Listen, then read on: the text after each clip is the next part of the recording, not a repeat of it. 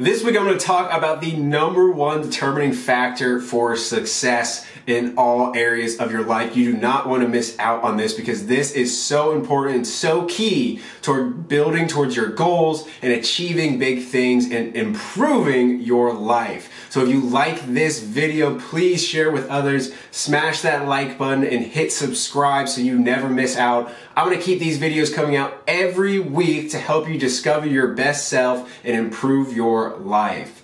Let's get after it.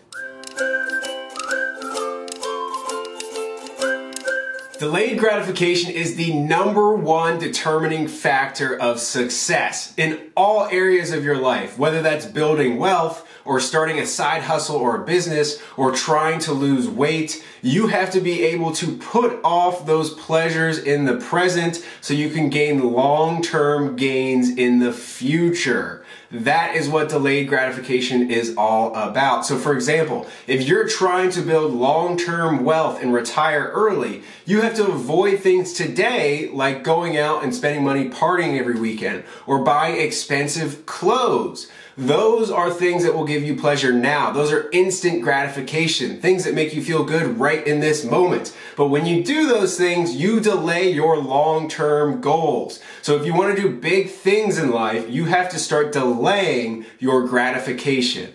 One way you can do that is to create long-term goals that you can focus on. If you don't have a long-term goal that you are looking forward to or aiming towards, then you're not going to be able to change your short-term decisions. So for example, if you are trying to lose 20 pounds, that's your goal for this year, then you're going to start making decisions that align with that goal. But if you don't have a goal to begin with, then your short-term decisions are going to always go for that immediate pleasure rather than that long-term goal. So you need to start thinking long-term about what you want to achieve. A year ahead, 10 years ahead, 20 years ahead. If you don't start planning that far ahead, you're not going to be able to change your behavior today. So start thinking about what do I want my life to look like 20 years down the road. The more you can make it exact and distinct and really hone in on what you want to achieve far down the road, the more likely you're going to change your behaviors to align with that long-term goal. Once you have that long-term goal, then you need to attach an emotional feeling to it. You need to understand why you want to achieve that goal. Your why needs to be so big that you can always come back to it. So for example, again, if you are trying to lose 20 pounds, why do you want to do that? If you don't have a strong why, then you're always going to turn back and eat that donut in the short term or not exercise today because you don't feel like doing it. A strong why will give you enough fuel to keep going even when you're not motivated. So a strong why may look like, I want to lose 20 pounds so that I can play with my kids when they get older or my grandkids when I get older. And I know if I take care of myself now, I can do that in the future. So build a strong why around your goal and that will keep you from going for instant gratification and start aiming to delay that gratification.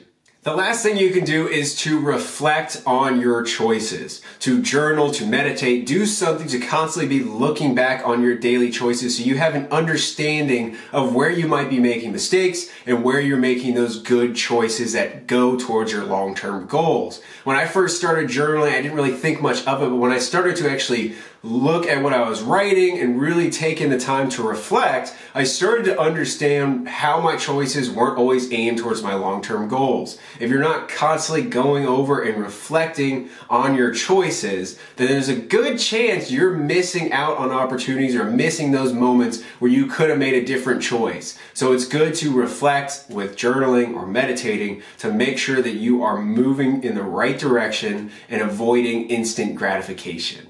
Delayed gratification is so important towards achieving your big goals in life, and it's so important that you adopt it early and start practicing it now. It's not going to be easy at first, but the more you can keep practicing it, the easier it becomes. Remember, follow these steps of having a strong why, a strong goal, and then reflecting on what you need to do and what you need to change, and you'll be able to start putting off those short-term pleasures and start delaying your gratification and moving towards your long-term goals.